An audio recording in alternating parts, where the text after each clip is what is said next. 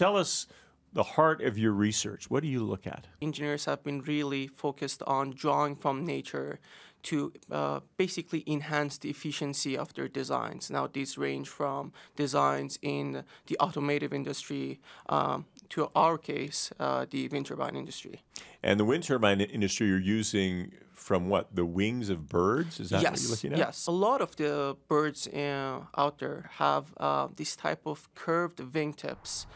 And uh, the way it functions is that, uh, especially for the bigger birds, they have um, their their weight is uh, obviously much larger, and they've intrinsically came up with this design, if you would say, um, uh, at the wingtips of their uh, wings, right. that would reduce the friction uh, when they're flapping their wings in the upcoming air.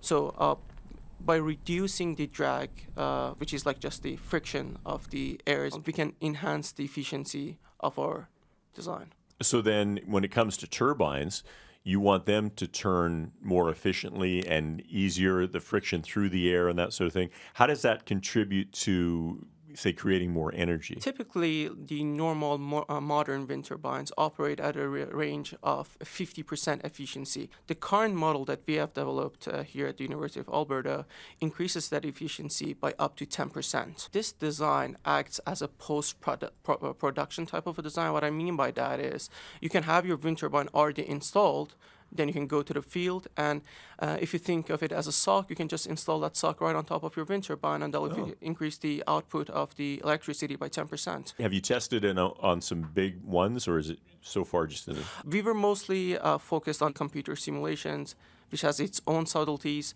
The next part of our uh, the research would definitely be to make an actual uh, full-scale model, and then go to the field and test that out.